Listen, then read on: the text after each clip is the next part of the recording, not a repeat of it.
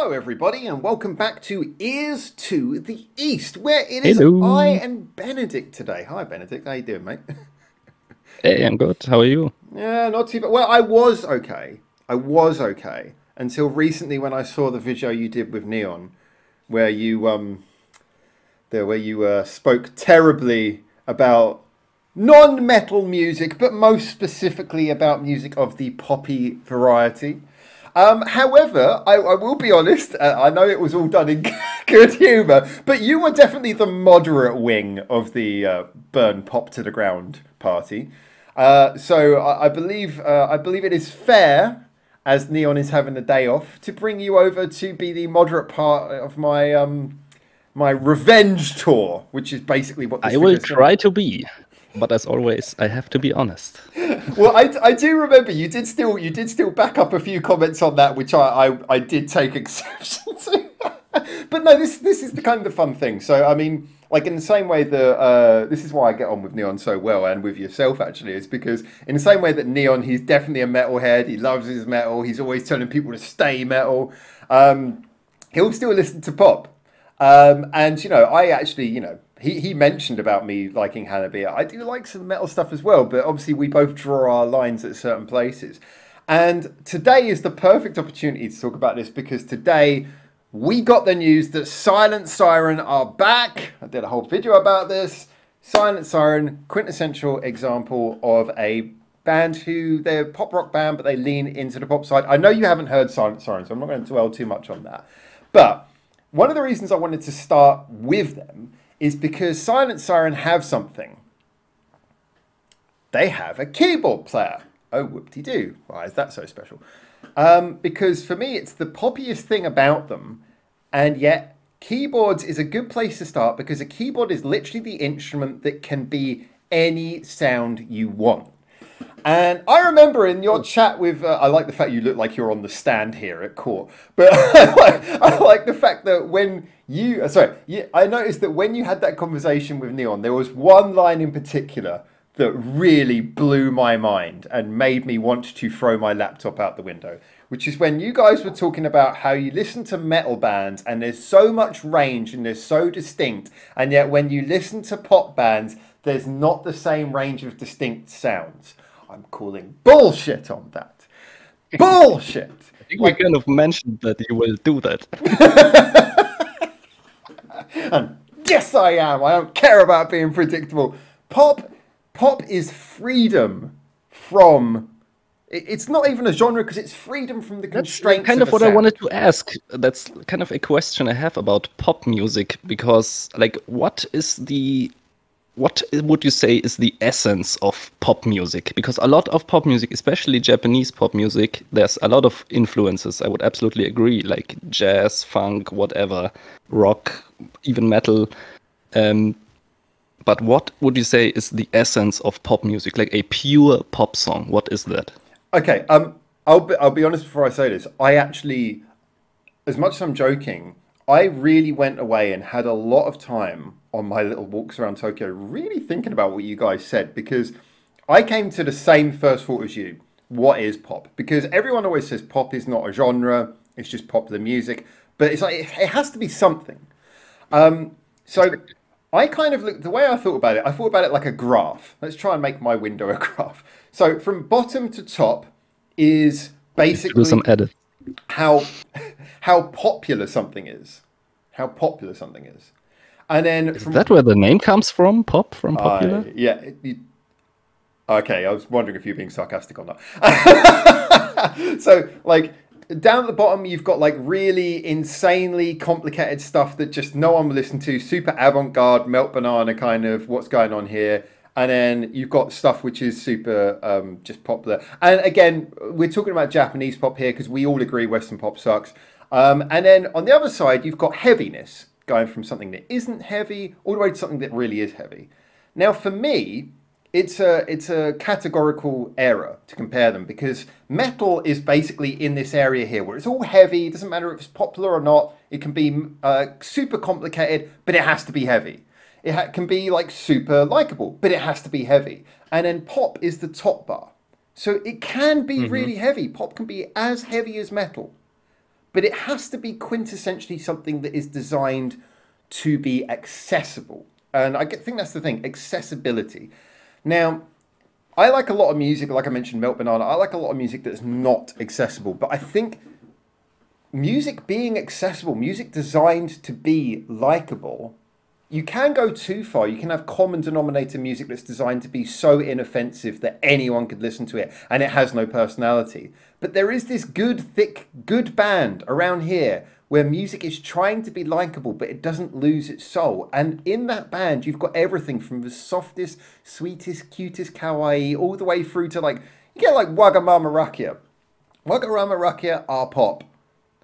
But they're as heavy as any metal band because pop doesn't stop you putting metal guitars in. It does not prohibit you from using any sound. It just says try yeah, I mean, to. I was kind of joking you. about pop coming from popular, but actually, if you go if you take that definition, any genre can be pop if it's like accessible and yeah.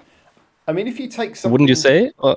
Yeah, I mean, if you take if you have like... a metal song that's if you would say metal is the pop most popular genre in the world, like just hypothetically, then it would be pop, right? Well, that, that, that's see, see that's an interesting because when you get a, like a popular niche, so metal, I would say is an is probably in yeah but i guess you're kind of right. I mean if you look about like you look at like um around about the year 2000 2001 what was like the most popular song rolling by limp bizkit. I mean that that was like number one in the charts everywhere. Um and yes that might not be your quintessential example of what most people consider to be metal but it's definitely in the metal space.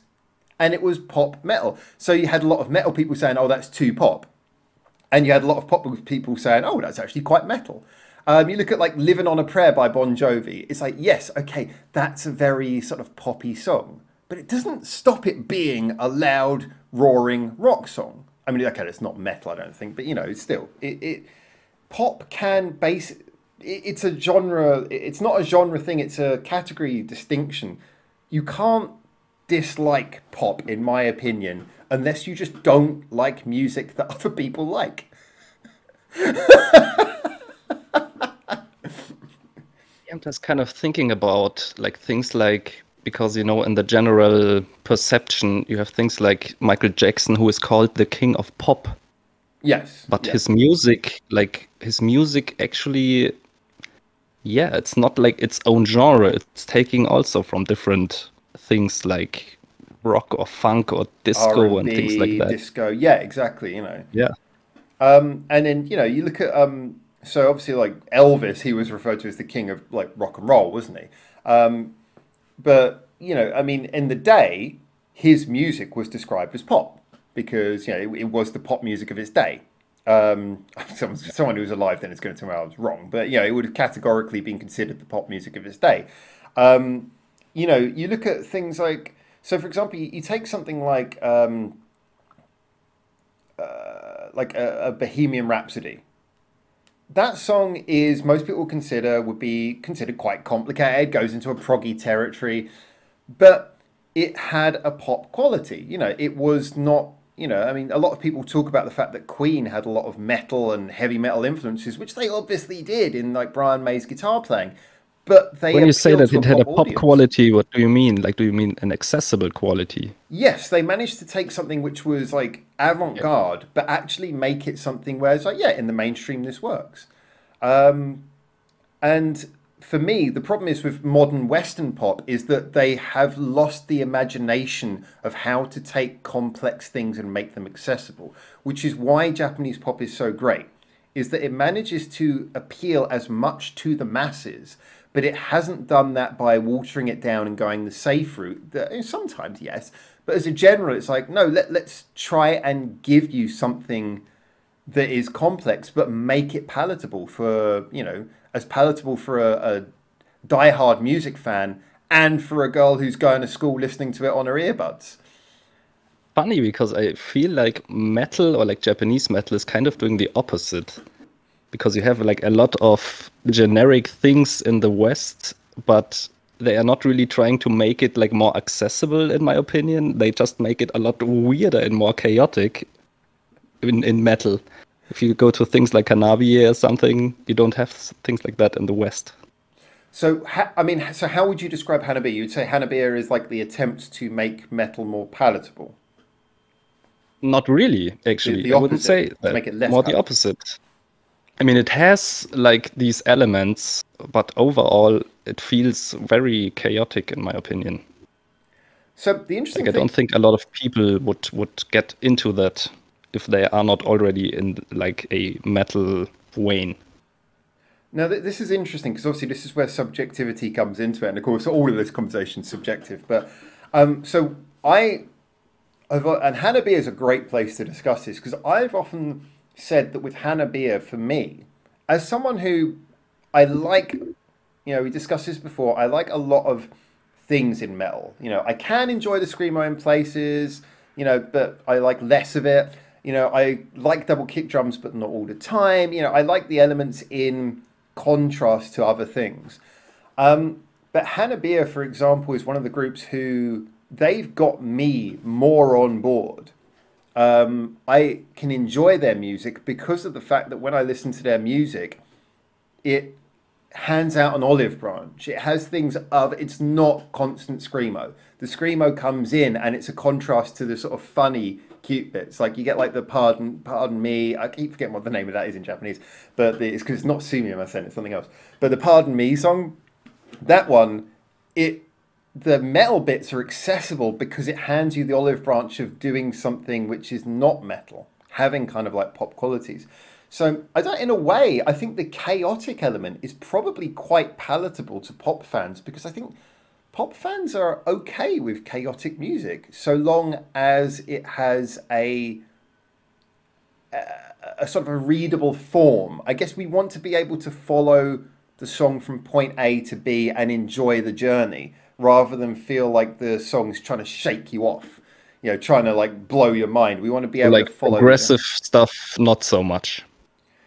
Well, th- this is where I often wonder with like a lot of my taste in the more progressive stuff. I wonder because you know again you look at something like Bohemian Rhapsody that I, I, would actually argue that compared to a lot of progressive songs it takes a lot of very harsh turns Bohemian Rhapsody um, which are probably harder to follow if you're not haven't already heard it a million times and I do think you know being aired in radio play gave it a lot of ability to seep into people's consciousnesses but I think that you know like it is interesting that line of what is enough to throw people off. I think that's when we get into a, uh, subjective territory. But I do think you can have songs that are quite progressive, but can still be considered poppy, because I think it's a it's as we've discussed before. It's something of a fallacy of modern pop writing, especially in the West, and you know, modern writings in general, that people can't take something unless it's a four four rhythm. It's just strictly not true. It's not true. And also that it's a lot of times very repetitive. You have not a lot of variety in, uh, I, in the song itself. I'm just going to say, I always do this when we talk about structure, chorus, verse, chorus, bridge, verse, chorus. That's a good. I, I will get back to that point. I'm just going to say for anyone at home, just because I, I, always say this and people are bored of me repeating it. When we say a four four time signature, that's when you count like one two three four, one two three four. That's when that's your rhythm structure, which is kind of what most you know contemporary, not all, but most contemporary songs are. So just for anyone who's I always try to avoid you know using musical terms because I want this to be an accessible conversation. So I thought I'd throw that in there. Um, but yeah, you make a good point about the verse, chorus, verse, chorus, bridge, chorus thing as well, um, which um, I feel is, if anything, is like particularly overdone in modern metal. I think modern metal is quite a um, quite yeah has a lot to answer for in that. Like actually, maybe not metal so much as hard rock, but I mean this is and especially like i've always said i love a bridge for me a bridge can make a song because it's the thing that makes the last chorus build up if you're going to have a song with that structure the bridge is always the bit where you take what you've got and you take it up to the next level um, and so many metal songs they're just content to all right guitar solo Wait, hold up. That that to me, that's that's a lack of creativity in writing. I'm not saying they all do that, but way, way, way more guitar solos being used as fill in we couldn't be bothered bridges in metal than there is in pop. I mean, pop has the middle eight, which is overused, which is just where you just repeat a couple of chords and then just do a chorus again. But, um, you know, I think that there is much more of the excessive use of the guitar solo instead of a writing a bridge in metal than there is lazy bridges in pop. I feel that's kind of obvious because metal is guitar driven music. So obviously we will have guitar everywhere. It's not an excuse. It's not an excuse. um, I think you're right. Uh, but to me, also the most um, the most interesting metal music is the ones that don't follow that typical formula. So I guess where we're going here is that you're kind of saying that there's this area here in our graph, the area where we're we're heavy, but we're going into a sort of an oddball territory, which is solely within the metal sphere. But pop can't really go down into this more complex territory. It can't go. Mm, no, that's not really what I'm saying. I'm thinking more like you know, actually thinking about what is the because I ask you what is the essence of pop. I'm thinking like what is the essence of metal? That it's heavy. You know, the thing I enjoy most about metal is not that it's heavy; it's that it has all these kinds of different influences and also goes. Yeah, it's not always sounding the same. And to me, it's like one of the most diverse genres. But actually thinking about it, pop is probably pretty similar in that case. I think there is. So it takes from a lot of different places there is this area down this part of the graph where it wouldn't be called pop because it's not so accessible. And this is an area where Japan goes into, I think, because in Japan, people are more willing to listen to more insane stuff. Um, so you can go into this area here where it's not heavy, but it's doing crazy berserk things. Um, and for me, you get that a lot of the time with a lot of these really madcap sort of things. You know, um, and I, I feel like that's that's kind of where I agree. There's this interesting area where maybe music is not accessible, where it's doing technical things. But I think another fallacy is that people think that only happens in the heavy area. The you know, I mean, like you said, you don't listen to metal because it's heavy. You listen to it because you like the technical side. Well, I would argue there's plenty of technical stuff going on where there's like no distortion at all. You get like plenty of music where it's it's all keyboard music and it's super complex. Um, the thing is, is that metal almost feels like it has a monopoly on complexity, which I think comes from the fact that metal is obviously a genre very much built on you know people learning their craft, learning to be superb musicians. Whereas pop, a lot of the time, will rely on you know keyboards, programmed stuff. You know, you look at some of these insane like pop songs that you get in Japan. Some of them are pre-programmed. No one's actually playing the instrument, but not always. You know.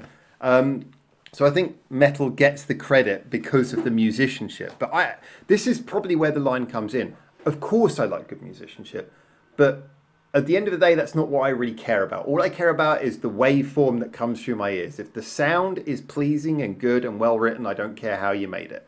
Just give me a good song. Um, yeah, that's I can agree on. So uh, that that's my that's that's my argument kind of made there as best as I can. But I this is, and by the way, this is not to downplay. Metal has a lot of really great complex stuff in it, and I do enjoy a lot of metal. I just feel there's this weird thing where people think that it has a monopoly on it. And get back to actually one of the questions I'd like to ask you, slightly flipping it, is that you mentioned about what the essence of metal is.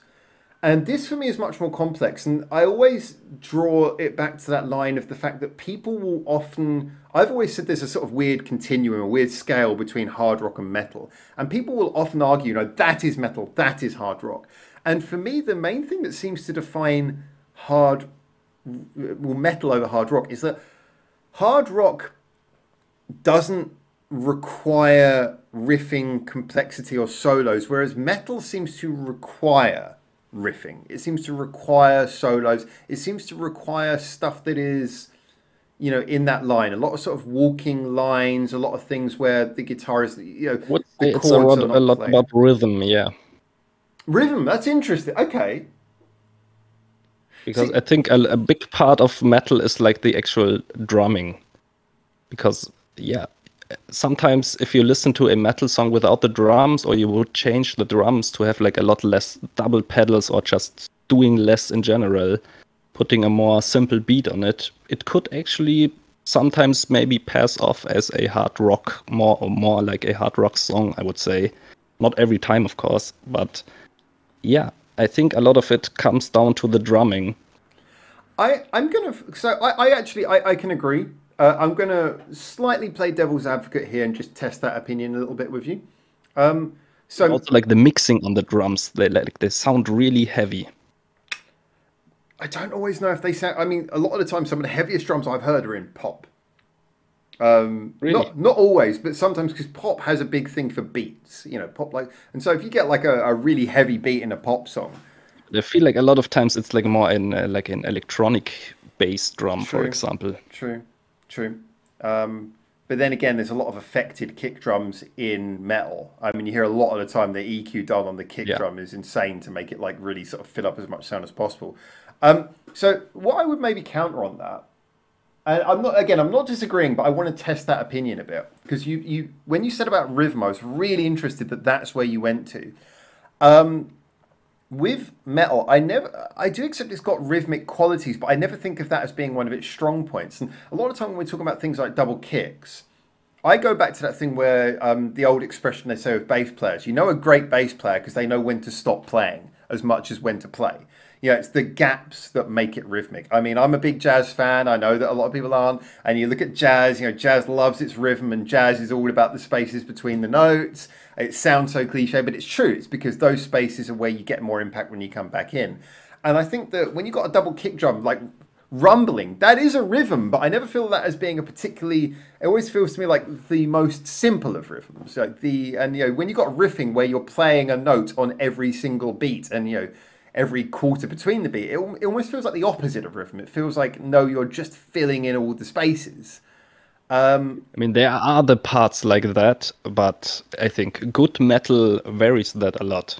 You have like parts where just the double pedals, but there's also other parts, and like uh, had to think of like Lovebites immediately because gonna ask for an sometimes you have yeah. Haruna, Haruna doing her double pedals constantly, but she's doing so much accenting while she's doing that. More like an underlying I don't know, an underlying power that's going on. And The actual accenting and drumming comes from what she's doing with her hands. um, I do want to bring Love But it Bites into adds this. like some, it adds like a certain force to it. I I think that I actually agree that for me, Lovebites. Um, I know there's an argument about whether Lovebites are metal, but I think most people agree they're metal. Um, which is why I always thought the Love Bites Band-Maid thing What was is? like was a very confusing like the, the the rivalry between their fans is very confusing because I would think if you're going to call anything hard rock and anything metal then that's Band-Maid and Lovebites they really are not in the same space. Um, and for me, like I agree that whereas usually I find double kick drum overuse very tiring, uh, Haruna from Lovebites she uses it constantly, but it really works. And I would put that partly down to the mix. Does the mix makes it punchy, but they don't shove it in your face. It's actually relatively quiet in the mix compared to most other metal bands, but it's very well mixed so that you can really feel each pop of the kick drum. You know, so it's defined, but it's fairly quiet. And like you said, actually, she uses that just to like sort of almost like a metronome. And then she uses that metronome to just then be very sort of creative on the top level of the drum kit. You know, she's moving around the overhead, she's moving around the um, the skins, you know, the to- toms and snares. So, if anything, she's just, it's almost like the kick drum's kind of an irrelevant metronome just to sort of keep the ground rumbling and then the rhythm's happening higher up. Um, I mean, But- you could also go into, for example, blast beats, because blast beats they sometimes they sound really weird, what's like blast they are. What's blast beats? Uh, I don't know. I cannot explain that to you. Do you know what it is? No, but I'm, I, I love the sound of it. It sounds so dramatic. Okay, I'm going to Oh, Google how can I describe this? I'm going to get you It's to like- describe it while I Google it. Yeah, it sounds like it's offbeat, but it's like a constant um, back and forth between the snare and the kick drum. Like Oh, the, yeah, yeah. Sorry, that was and really bad it, it can sound like it doesn't really sound like a drum beat that's supporting the music. It's more like I don't know. It just shifts the whole song into a different stage or atmosphere. think I'm. So you're talking about that sort of kick snare, quick, like really, Yeah, really yeah. fast, sort of machine gunning. It's really fast. Yeah. Um, I think I've heard that before, and yeah, so you get like a, a very short burst of that. I can kind of get that, but I often feel like something where it can work, but a lot like the scream stuff, I feel like a lot of the time, although it can work, it feels like it's not used in places where it does anything. It's just used in places to be loud for the sake of be loud. Yeah, I didn't want to say that's the, uh, like the best thing ever, but mm-hmm. uh, it's just the drumming in metal. I feel can really change the song, and it's not just there to give like a yeah simple beat that you can bob your head to, but it really it's much more its own instrument, like a guitar, for example, than in pop. In pop, for example, or yeah, in some other music, the drums are a lot simpler. I think and, that um, yeah. this can. Do you know what I mean? Yeah, this this can come back to when we talk about pop.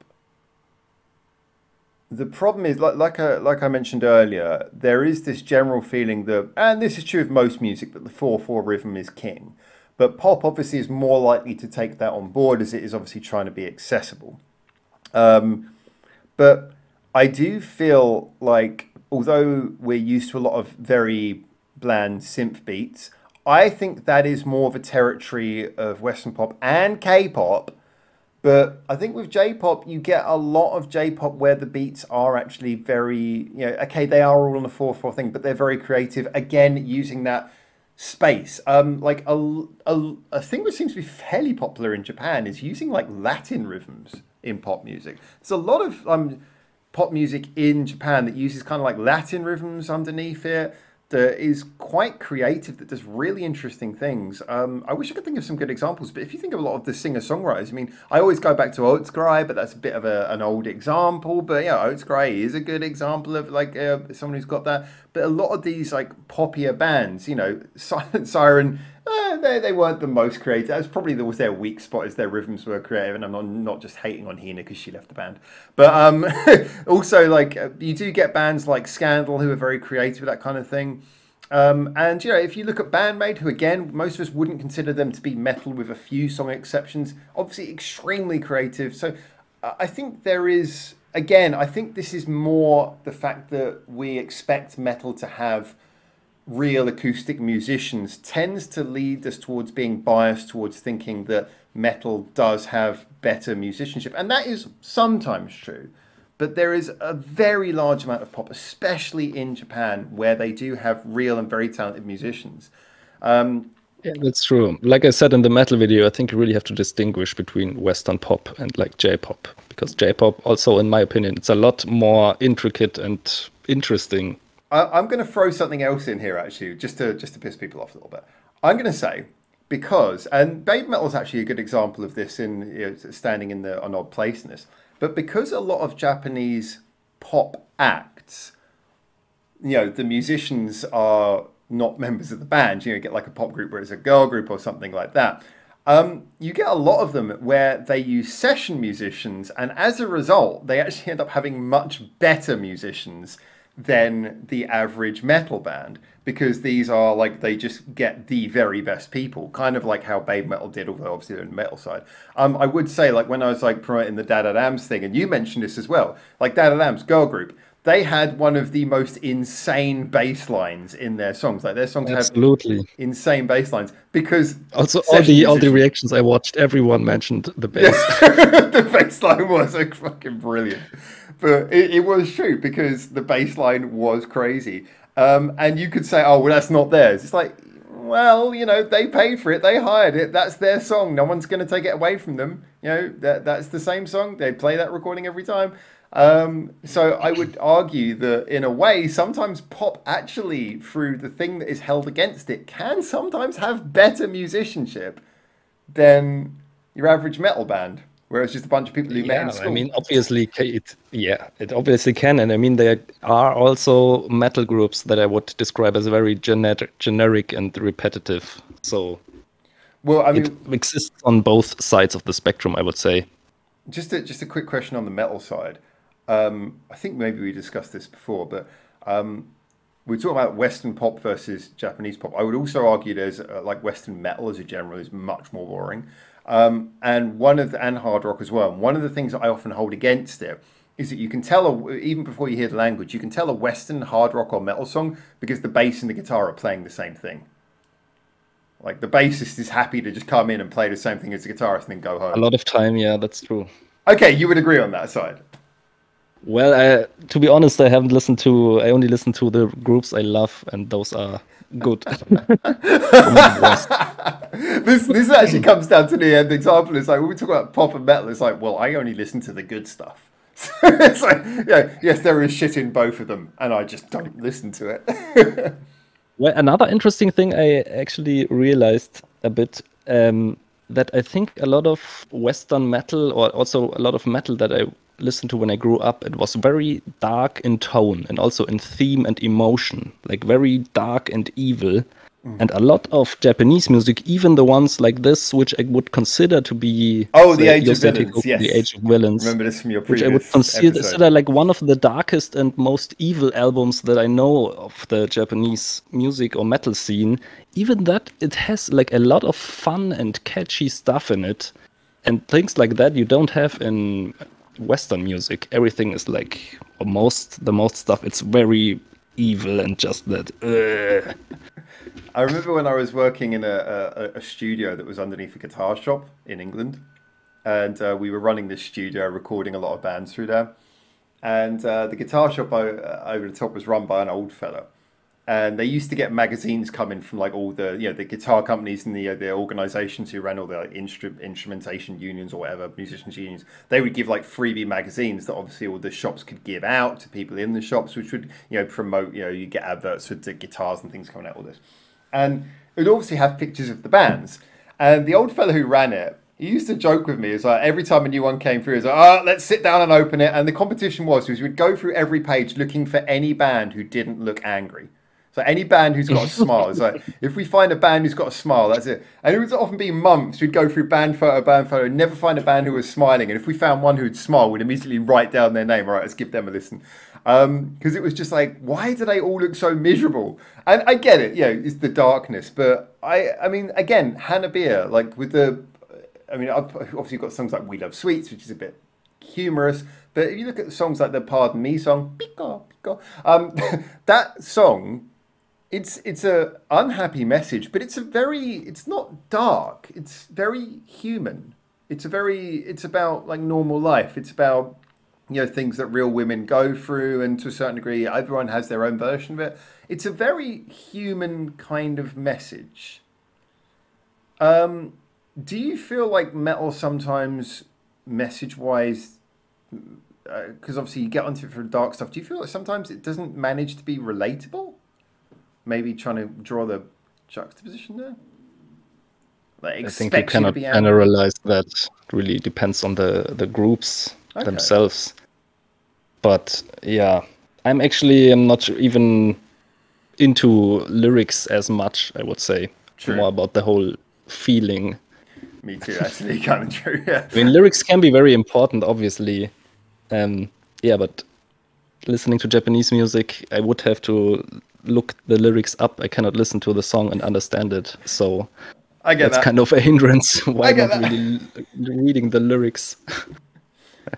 yeah, I'm, um, I'm, not a big lyric reader either, but um, yeah, the the a lot of the time you kind of like this. Like so, I like Unlucky Morpheus, but like I'd say Unlucky Morpheus like most of the times I look at the tone of their songs and I can't it just feels like incredibly like everything is so theatrical and dramatic. It feels like you kind of have to separate yourself from reality and go into this like weird other world in which unlucky Morpheus exists. And I enjoy that but it doesn't make it the sort of thing I can listen to on an everyday basis as much as I like their music because it feels like I have to be in this weird like that's also something I'm kind of missing in pop music, like the epicness, the orchestral theatrical style that's more like similar to ah. classical music. Don't feel, or at least I don't know a lot of pop music that is like that. Because um, it's kind of contradictory to that, yeah, this is accessible and I can kind of, yeah, get into it easily. I I would say the um, so on one level I want to say that I disagree because I think that there's there's no reason at all why pop can't have uh, classical and orchestral bits in, and it actually does. Yeah, but can you but, like tell me a group that does that out of your head? Well, ironically, Silent Siren did an entire concert with an orchestra, so um, You know, okay, that, I need to check that out. it, it, was it was a real shame because it was like the best idea ever, but you could tell like their their audio wasn't good, so you could tell like, they couldn't really hear the orchestra, and so the timing was a bit bad mm. on it. But still, the idea was in there, and you know there is music like that. But what I was going to say is that you do have a point that pop does not do that anywhere near as much. Now, off the top of my head, I would argue two reasons why. First of all, is because like metal as a general, it tends to go into that big dramatic, you know, it's a very intense, like it's all about extreme emotions. You know, you can never have a subtle emotion in metal because, well, I guess you could, but it's very hard. That's kind of why I love it. Yeah, uh, and I, I, totally get that. But um, as a result, having something big and orchestral meets that need very much head on. I would say that the reason why pop doesn't have that, sorry, I've got a little blood coming out my lip. I'm that angry. Um, but the reason why pop doesn't have that is really twofold. First of all, it tends to be a little bit more subtle. So it does use orchestras, but they tend to be subtle. They tend to come up in things like ballads, where it's more to give it a, a more swooning feeling. But the other reason yeah. as well is because I think pop doesn't need it as much because pop already, like I say, it does not have, it, by its very nature, has no restrictions on the sound use. So pop is actively using keyboards, it's using pianos, it's using jazz. You've got trumpets and things like brass regularly comes up in pop. You've got like you digital sounds using much more freely. It has no restraint on what it can use. So orchestras, an orchestral sound is just one of the many things you can use very often, I mean, like people talked about things like Unlucky Morpheus having violin, which I adore. Alia has a violin. It's like, yeah, and they use it just as much, if not more. Um, it's just about adding a violin, it's about the whole vibe of it. But that's kind of my point is that I feel like metal only uses the orchestra for one thing, which is a big, dramatic, intense um, almost, I, I, know this is stereotypical, but kind of leaning towards that gothic theatrical feel. Whereas um, it's one of the many sounds Ooh. pop can use, and it uses it in many different ways, but probably less because of the fact that it has so many other things it can be doing. It's just one of the items in the arsenal. I mean, but let me let me ask you, um, because I have never been to a pop concert. Have you ever been to a pop concert before, like a big one? Because I, I, would like to know yes. like about the like the contrast between like an epic metal show and an epic I don't know if it's epic an epic pop show. Well, uh, or maybe you would say it's not epic; it's something else. So rather than just um, so I, I don't want to constantly just sound like I'm fighting the case. So I only I want to give probably a relevant example. One, I think probably the most I'm actually interested. Well, yeah, I, I think probably the most interesting example. I'm going to go for something a bit more atypical. Um, when I was in uh, London, I actually saw Kyary Pamyu Pamyu twice in London, which was great. Um, as okay. part, part of the work I was doing there. And Kyary Pamyu Pamyu, I bring her up because of the J-pop artist. I love her sound, but she works with Nakata Yasutaka, the producer, and he's got a great sound, but he's notably he stays within his sound. You know, you hear one of his songs, and it's not like Silent Siren where it's like, you know, they can be doing a rock song and then a ballad. It's like his songs pretty much all fit into a fair category, and it is a very creative sound, but it's very limited. Um, well, it doesn't have a huge amount of range. So, okay. when I saw her, we'll actually check out one of some of Kyary Pamyu Pamyu next rotation. You might have heard things like PonPonPon. I, I, mean, if you don't know that, I'm going to expose you to that anyway. Just I know one song, the Candy Candy. Oh, you know, I know Candy, a remix Candy. of a future funk guy who did a remix of that song, and then I listened to the original. Well, you I liked it. You got a reaction channel, so just as a quick aside, definitely do PonPonPon. That's like her most famous one, and that like the video, apart from anything else, is just about the best of. So I think that's on. Ah, okay, you're good. You're good. Um, but you know, she has, and this is not to say her songs don't have variation. It's just sonically there is a, a certain style he's got that's very telling. Um, so I was kind of intrigued as her sounds kind of, you know, Candy Candy is a fairly simple example. They kind of have like uh, a kawaii feels like how is this going to translate into a big venue and you go into the venue lights are down low you know, it's dark but you got like the big spotlights you know kind of like a rock venue it's like how is this going to work with kawaii music and then they came out, and I realized that the songs had just been kind of mixed, remixed in a way where they were still the same song, but the focus had been shifted more on having a, a big beat. So something was more like a club feel to it. Um, Okay. the the vocals were layered up really nicely. It, it just became this sort of like big bouncing sort of fun show where you know the the club beat was used to make you bounce a lot more, but then it just meant that the rest of the music didn't really have to change because the music could just be sort of fun and cute. But all you needed to do to get people up on their feet was just make the beat really big, and then you can just enjoy the same song, you know, just as sweet and cute as it is. Because all you Actually, really sounds need like something do, I would enjoy. you you would or wouldn't. I would. Yeah, I, I, I think you probably would. I get the feeling because I, I know again like I've- the future funk remix of that Candy Candy song, it's kind of like that. Really, just increased the beat and made it a lot more, yeah, I don't know, electronic house kind of Yeah. style. Yeah. Yeah, And- and I love that sound.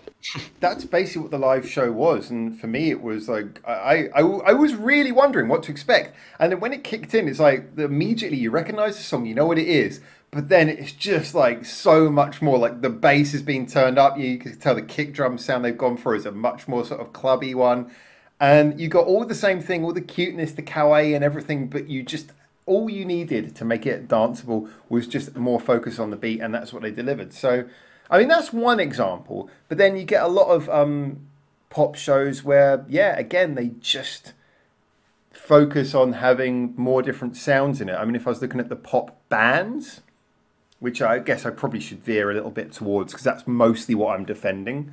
Um, I mean, I still think the pop groups have really interesting music in Japan, but the pop bands are a good example of the best of Japanese pop. They, you know, they do everything that a metal band does, but just you know, often like rather than having three people on stage playing guitars, they'll have one of them who's playing a keyboard, and they'll have a little bit more variation. Um, you know, I mean, I think Alia. I, I would always actually point. I know they're not. Do they have also like epic stage setups or like long intros building up to a song and things like that? Um, It's like difficult for me to remember, uh, to to imagine like, yeah, like an epic build up and then you go into like candy, candy. Um, actually, Kyary does quite a build up for her show. When her show starts, it's like the most epic build up for that. Um, so obviously, the you do get the epic show. I think both metal and pop will very much lean towards like light shows, you know, stage theatrics. Obviously, a lot of the time, we don't have as much flames.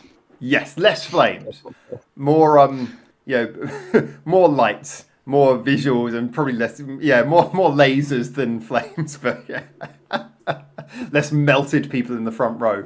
You know, security guards with their hair on fire. That's why they're all all security guards are bald.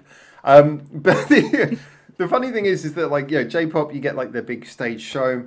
But I, I think actually one of the bands, I, I know that lots of people are not as much into their music, but I am going to say if someone wants to see an example of pop working, whether you like their music or not, I think Alia are a great example in that they're big, they're theatric, they have, um, so their lineup, they have singer, who she she bounces around the stage like you would not believe.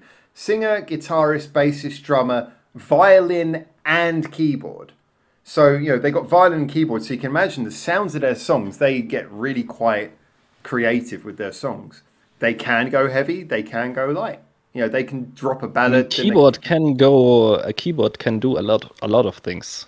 It, it can do It's anything. not really. You can. You, you don't really know what that keyboard does if you haven't heard it yet. Because like Gacharic Spin, Oreo, it's like crazy. But I just today listened to another. It was like a really like more classic metal song, which used the keyboard to add like choirs and stuff.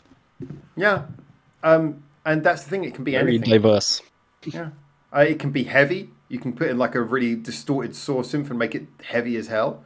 Um, or it can be light. It can be a piano. Um, it's- By the Gacharic- way, uh, sorry.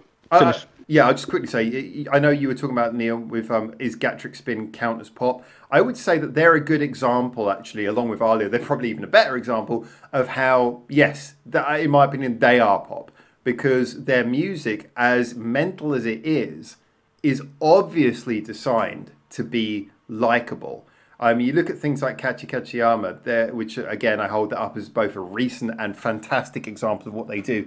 That song is obviously designed to appeal to the masses, and yet it's not afraid to go absolutely berserk. So yeah, um, Gacharic Spin, we are claiming them. We are claiming them. They're one of ours. I love them as well. But that's interesting because I wanted to ask you: Have you checked out Cö shu Nie yet? Cö shu Nie. Cö shu Nie. Oh, it's going to be one of those ones where is that the one which is Q U? It's a C, then an O with the two dots, and then S H U N I E. Yeah, see, I have checked them out. They were on my Twitch stream. I can never remember which band they are. I think I've heard like three songs of theirs through um, like Twitch now, and I always forget which band they are. But um, I would really uh, would like to hear your opinion on that because to me that is a group that I would say their sound in general, like the just the basic sound of it, I would absolutely say this is pop music, or like a bit of rocky pop music but the music itself it's not really accessible in my opinion. So i would like to know your opinion if you would consider this pop or more like experimental. I am just loading up a picture now just so i can see if i can um, recognize them from that. But um, yeah see this... yeah, it's mostly the girl like pink hair yeah it, it might well be that i wouldn't uh, re- recognize them um, yeah, I, I don't know. I, I mean, I've definitely heard them. I've heard them several times on the Twitch, but I don't immediately recognize which song of theirs it was. But okay, um, I think that maybe that would be something worth me doing is checking out them as well and talking about that. But for me, like, yeah, I um, before even knowing what I'm judging here, my simple feeling would be it's and this is maybe where we have to define the difference between what J-pop is and Western pop. Uh, I know we've been doing that for a while, but this is probably where we have to be a little bit more strict about that. Is that for me, it would be pop, in my opinion, regardless of any sounds it uses, any genre it uses, if it's clearly trying to be a song that anyone can get into. And I know some people might not like that definition because some people would like listen to say maybe something like a Metallica song and say, well, anyone can get into this. And I would argue, no, no, that that's not actually true. Like I, this, I've yeah, heard because with that definition, I'd say Cö shu Nie isn't pop. Uh, okay. Using that definition, but like then I would like to know what is it in your opinion? Like what genre? I will have to check that, but this actually brings me on to one question which I really want to ask you about. Um, so one of the reasons why, so this popped into my head when I said that, and I wanted to mention this earlier, but I need to bring this because this needs to be mentioned in this video. Um, the reason why I'd say that Metallica can virtually never be considered pop is um, even if it's like a, a, song like Enter Sandman that everyone can sort of enjoy, is because the vocals are so scratchy and growly that it's just kind of like to wh- whatever he's singing to like 50% or more of your audience is going to be like, yeah, but that's not really singing. It's going to be something where they're going to listen to it. And I think this is probably one of the few limitation. Well, I don't personally consider it a limitation, but I know a lot of other people would consider this to be a limitation. Is that in pop, you can have a growler. You can have someone like Passcode, you know, where they got Emily in there, but ultimately you have to have some kind of sung vocal. I guess that's the thing because that's kind of the one thing where most people would be inflexible. They need to have a, a clear voice singing. Um, so but doesn't that coming back to the very beginning of mm. our talk, like isn't that um, dependent on like how the general public perceives this? Like if the majority of people would in- prefer like growling vocals then it maybe would be different. I agree. Um, however, I would say this is this is uh, as I mentioned. It's not the case, obviously, but yeah. So if it was the other way around, I, I would agree with you on that. But I would say that the interesting thing is, and someone's going to think of an example to correct me, I'm sure. But the in- interesting thing is, is that as a general, most people won't accept that. That is the one interesting point where I think most people are inflexible. I mean, you can have pop that features metal vocals. You can have pop that features rap. Um, yeah, pop that features most things, but if the entire vocal line is kind of like a growly, snarly thing, I think that I can't think of any examples of pop where that would be you could safely call it a pop song if it was that.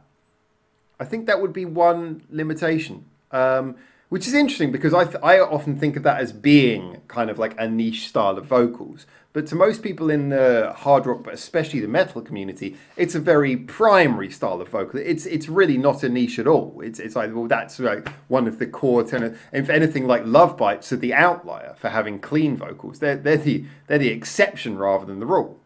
Uh, the exception that proves yeah. the rule, you might even say. Um, so yeah, I, I, think that maybe is the one limitation on pop. But um, like snarly vocals, I, I, get it. But like the screamo thing is kind of what I really wanted to ask you about because, as I said, that's the one I really struggle with. But you really you gave that a heartfelt defense in your video with Neon. So I'm kind of intrigued. I? I, I, I like how I feel about screams. Yeah, I, so you, you made a good point, but I want to let you just repeat that quickly again. Uh, uh, make the case for Screamo. Not that I hate all of it, but I would say for every single thing I like in Screamo, there's probably eight or nine that I don't like. Yeah, I think what I said and what I still feel like the same about is that I personally need some diversity in this style of singing. Mm. But yeah, I think it's not. The, that's probably the thing. Like with clean vocals, you you kind of it's easier to put variation in. You can like go into head voice, chest voice, things like that. You can switch it up rather easily. In in screams, a lot of times the singers they just are able to produce like one kind of growl or scream, and if they use that one type the whole song, I also feel like that's yeah too repetitive. Um, can you give an example else. of like a, a, good one and a bad one? Because I mean, I think we agree Hannah. Yeah, like good one, one obviously um, Hanabie again, mm. because yeah, I think their vocal, everything they do vocally, it's insane. It's not just the screams, uh, screams and growls, and different types of those as well, but also mixed with all their clean and kawaii vocals and different singers. I really love their vocal production. Yeah, the vocals that's exactly so what I love variation. the most. Yeah, I, I, love how much variation. Like everything, put just put everything in. yeah, I mean they they'll do rap, they'll do pop, they'll got like Matsuri's got. I really like Matsuri's voice. I know not everyone agrees, but I really like her voice. Um, and Yukina, I, I, although I think there's too much of the screamo stuff, I will admit that at least when she does the screamo stuff, it tends to be quite varied. I did say I didn't think that was the case in Tousou. I thought it was too much and it was a bit too much the same thing for me. But in most of their songs, I do think that she does provide a variation. I still, for me, the gold standard is still Emily, both when she was in Lady Baby and Passcode. She's the one person. Her screamo stuff, I, I have really no problem with it. it it's it just works really? because yeah. that's one I don't. It's not my favorite. really? All right. Okay. Yeah. Okay. Any particular reason? I don't know. That's because that's uh, what kind of what I just said. Her scream to me feels like there's not a huge lot of variation in it. For me, the variation like that I'm hearing, like Yukina. So okay, when I'm thinking variation, I'm thinking variation a lot in pitch. Like the it's it's not musical pitch, but pitch and expression. Yeah. Like her force and her pitch moves around a lot, which is one of the reasons why I find her very comparatively easy. Well, because to me, I don't feel about like that about her. Really? To me, it sounds pretty samey. Really, that's intriguing. So I, I am I am definitely the I'm definitely the uh, the, the the blind man in the art gallery here, but um you know I I I am uh, I'm intrigued about that. Tastes differ. well, it's interesting though because I'm trying to sort of get an understanding of uh, how you feel about. It. Um, so one of the ones where I really dislike it, which is interesting because I love her singing voice, is the lass from Nemophila. Like I love her singing voice, but her screamo stuff, I just I can't stand it. For me, it's just white noise. There's no variation. It's just like ah, that I absolutely love. Oh, fuck! what are you doing to me, Benedikt? You're trying to win me over. It's that's why I said like tastes differ because you probably you don't want what I like about that scream in Absolutely. your music. I mean, And once again, I mean, to we- me, I mean, I would say this scream it's one of the most fierce and aggressive screams that I ever heard. it's, to and me, it's like the most thin. It's really sounds scratchy, like high pitched. Yeah, that's why. It's, that's why it's to me. That's why it's not fierce. It, it- I mean, I don't want to hear that sort of. I don't like that, you know. But the the high pitched screechy one, it, it sounds lacking in any power. It sounds like she's. Really? It sounds like. I mean, I imagine if you took away the music and just looked at her in the studio, it would be no louder than listening to someone talk. It would just be like. "Ah," It doesn't sound loud. But that's There's the no case with all of screams. I don't know if I if I hear Yukina or Emily, I would imagine that yeah, if I was in front of her, it's it's never going to be as loud as full throat singing, but I would imagine that it would be a feeling of power, like actually standing in front of her, hearing that's it. just your perception. Perhaps, I would say. But um, I do also I think, think both think- of those styles are pretty much the same volume, probably, if you're standing right in front of them. I, I, I mean, I, I'm willing to be proven wrong, and I might well be wrong. Um, Well, I, I don't know for sure, But- but that's kind of what I got from everything I know about harsh vocals. Yeah, no, exactly. I mean, this is this is an area where you probably have more to work from than me. Um, I, I can cut, I can see it a little bit. The more I think about it with Nemophila, I can see it a little bit because she does seem to really have. You can you can feel the emotion. Like she definitely like projects an emotion. It's just weird because it's like a, a it's like hear someone play like a really angry like full on heavy metal beat through a toy drum kit. It just it does. It's like I can I know that you're angry. I can I can feel that, but it's not coming across in the sound. It's like I can I get it, but it's just not coming across. So that's really interesting that you said that. I'm- I found I'm that really interesting as well because, especially that you said like there's not. I don't think you said. I think it's not very powerful. no, it doesn't feel me, it's exactly- at all to me. To me, it's exactly the opposite. It feels really powerful. I definitely want to listen. The first to time I heard Dissension, I was really blown away by her scream, By and then I was kind of disappointed because, song by them. yeah, for me, one of my favorites.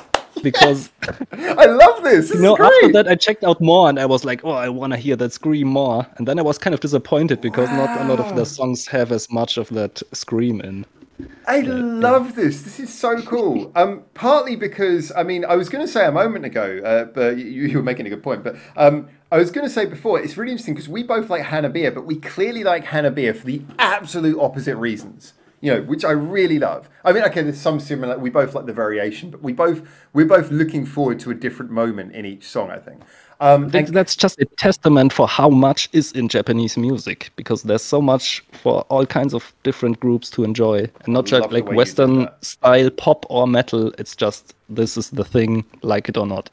I, I'm actually going to ask, and so anyone who's been listening to this uh, all the way through, I want this is something I'm really genuinely fascinated. I want you guys to put this in the comments, and this is not a competition. Don't do this as a popularity contest. I want you to hear your genuine opinions, like me and Benedikt have been sharing today. Um, specifically in regards to because we both know these Yukina, Emily, and it, Tamu's the drummer, isn't she? In Nemophila, what's the name of the singer? Is it Mayu is the singer and Tamu's the drummer, or is it the other way around? Yeah, Mario is the singer. Mayu's the singer. I okay. don't know, sure, I don't know about the drummer. I think yeah, Tamu's the drummer. I'm sorry, but um, so so between those three, Mayu, Emily, and Yukina, what order would you personally put them in? Again, this is not like a popularity contest. I'm just really intrigued by how generally people would balance that out. I'd really love to know what you guys would say in the comments.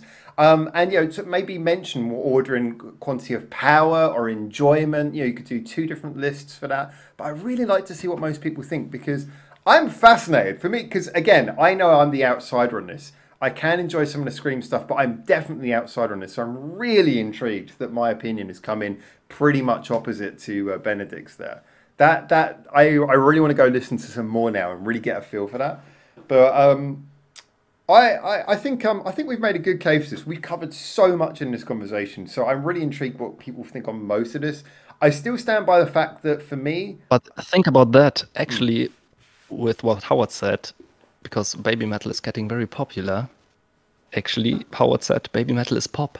yeah, I, I'm I think well, Babymetal is in that crossroads where it's clearly designed to be accessible, and it's. I know you were joking, but for me, it's in the, it's in that prime territory. Um, and their whole goal was to mix J-pop and metal. I think they've mixed Yeah, yeah, pop absolutely. with metal. Uh, the J-pop aspects kind of started to filter out, and now they're more just mixing pop as a general thesis. You have pop metal, but um, yeah, for me, they are in that space. But yeah, I, so I, I would say that they are metal, but they are also pop.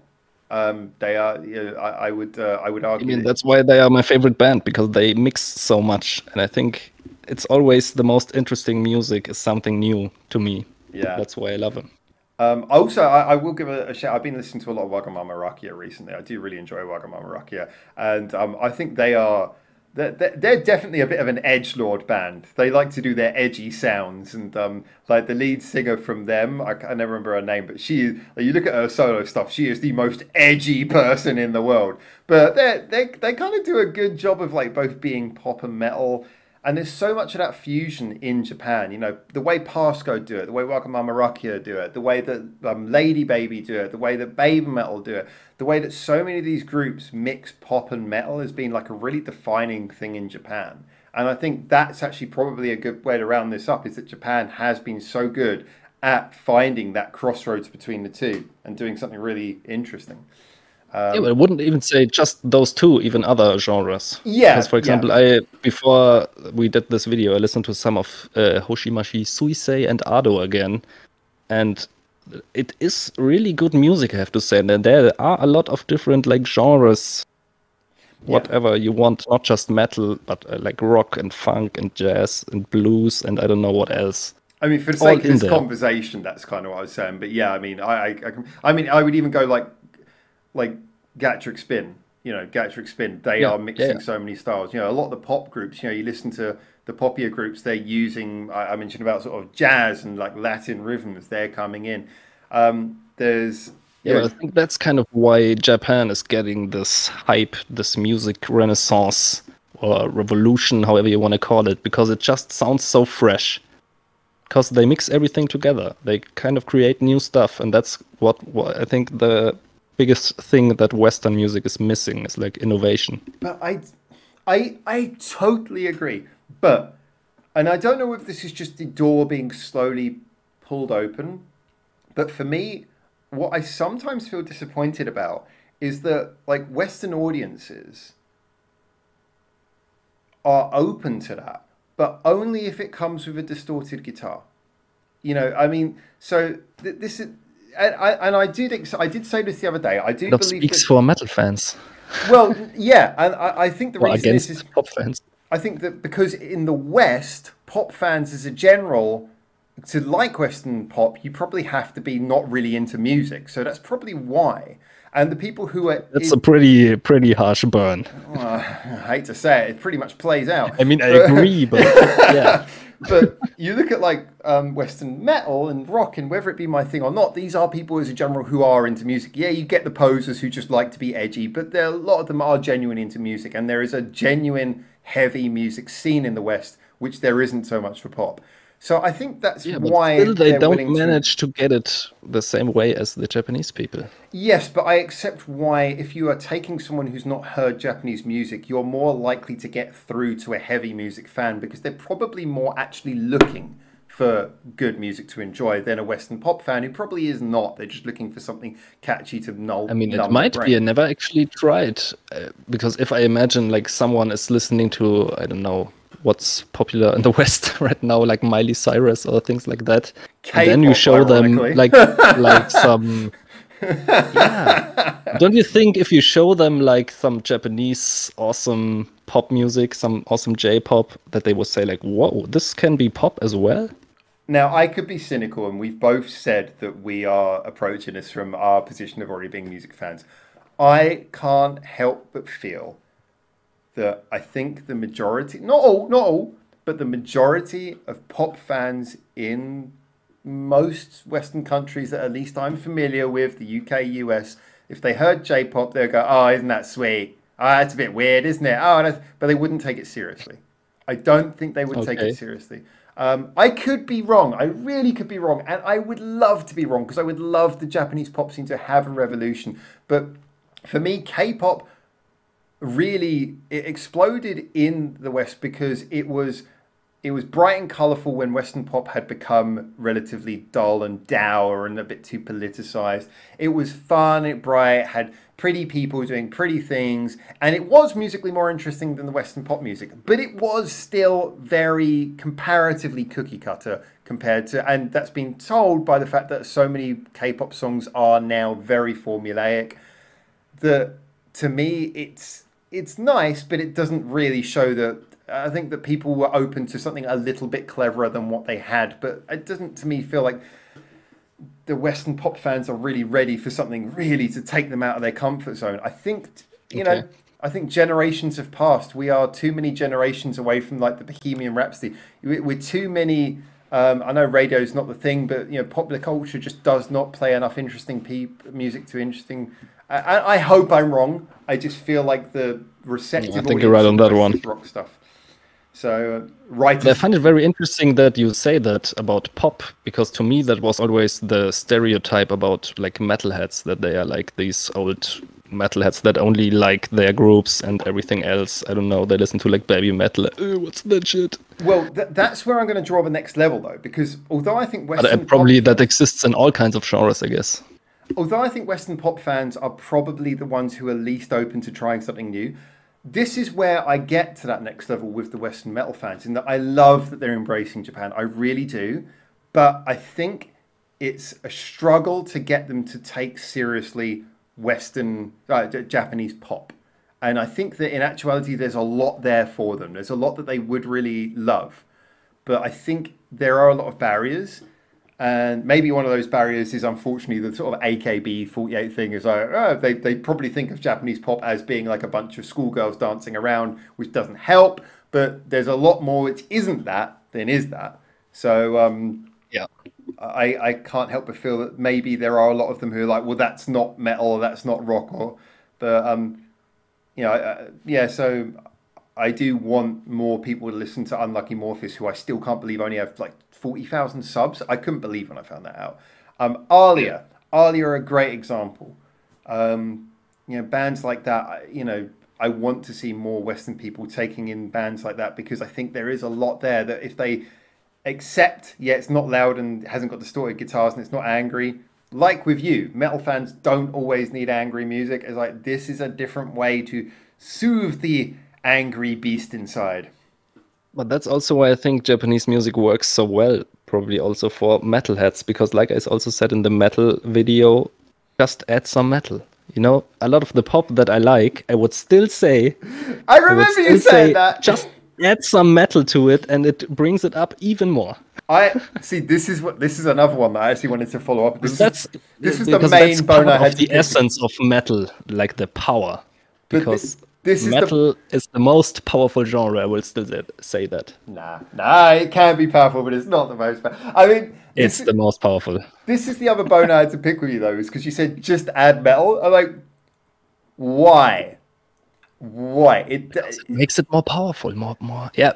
All right. okay. More what I want. Here's the here's the counter. West, uh, sorry, Japanese pop can add metal, and then when it's done, it can put it back in the cupboard. Metal can't do that. Metal has to keep the metal. Metal can do that. Metal can add pop, and then if it wants, it can but throw it away as well. It's still gonna be distorted guitars. It's still gonna yeah, not sure. be able to relax pop away. will always be pop, even if it adds metal. But I think... pop is not a sound. It's a, it's more of a thesis. It's more of an approach than a sound. So there are no limitations. Yeah, you can yeah, literally true. have any sound. So I would say, I would say that adding metal. Yeah. But wouldn't I, you say like the general people would say pop consider pop a music genre? I think that's a common not like the just the idea. I think that's a common error. Again, maybe perpetrated by the fact that obviously what is popular will often have a sound. So if I asked you what is pop in the 2020s, you would probably be able to define a sound, at least in the West, you'd be able to define a sound. This is what pop is.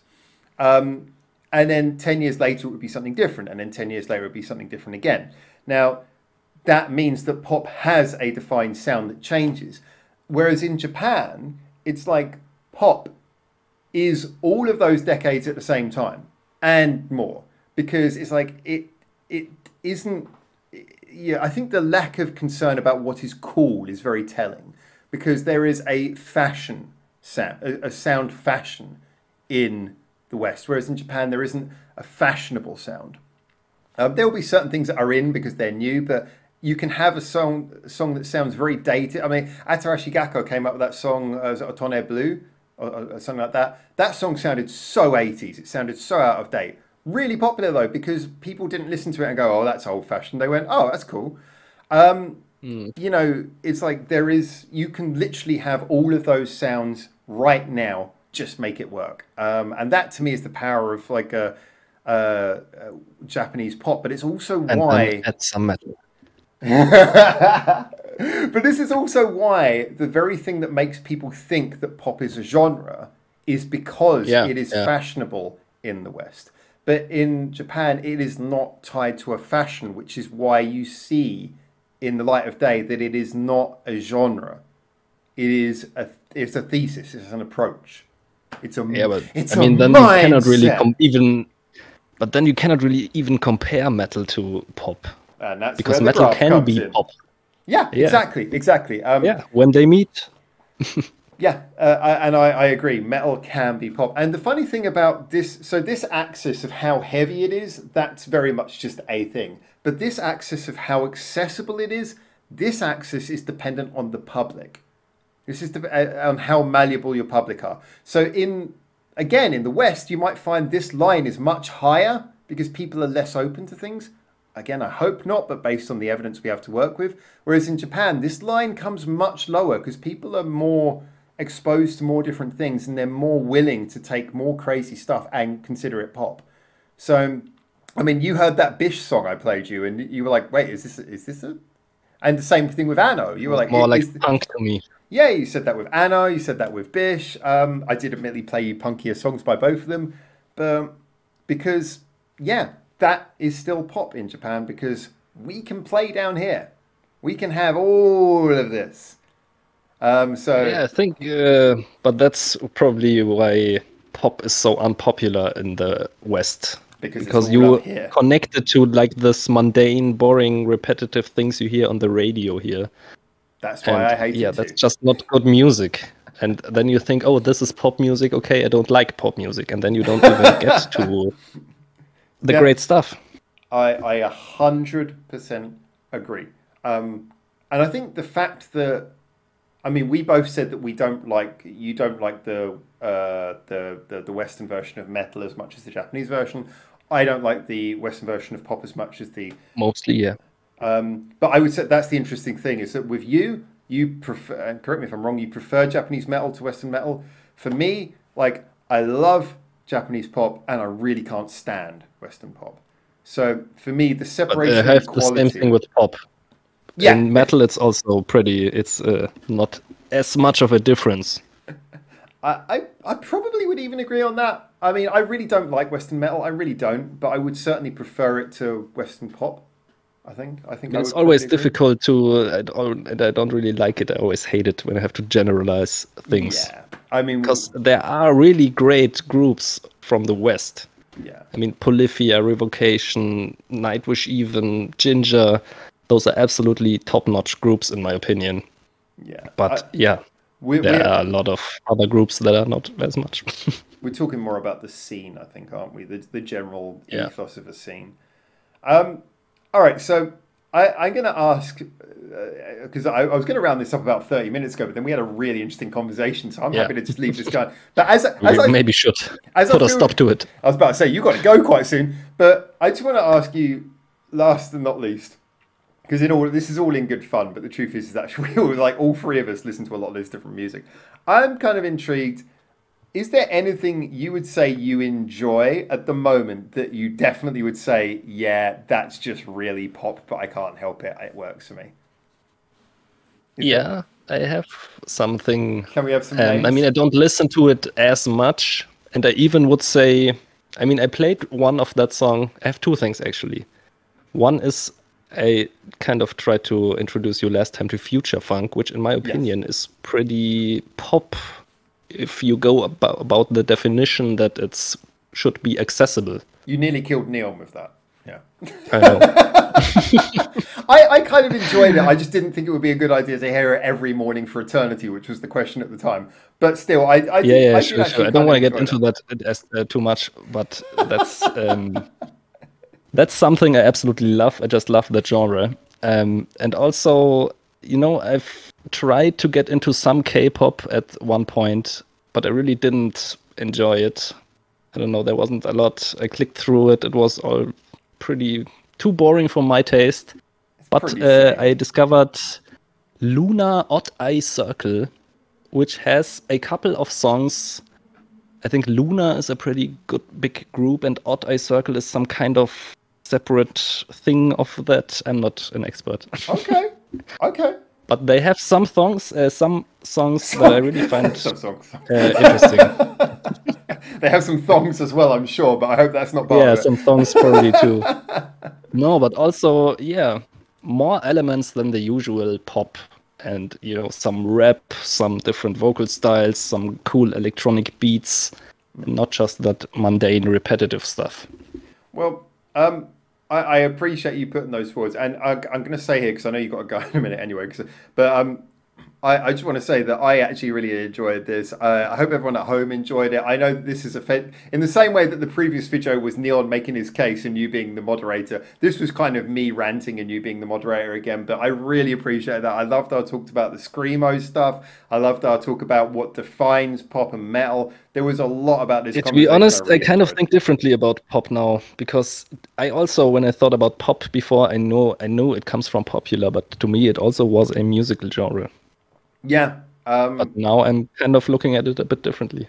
I, am I'm, I'm really good. I, I mean, there will always be some stuff where you go, oh, that's definitely the pop thing. But I do think that looking at it in that way is the best way I can describe it. But this yeah, was yeah. this was fun. I enjoyed this. Maybe just because I like the sound of and my. you check out Cö shu Nie. Yes, I need I need to go double check which I've definitely heard them. I know because I got criticised last time we did this, and I said I didn't know who they were. Like one of the yeah, people in chat was like, "How would you have heard them?" All right, let's round this up. Say thank you to everyone at home. Do all the likey, subscribey stuff. You know how it works. And until we see you next time here, keep your ears to East.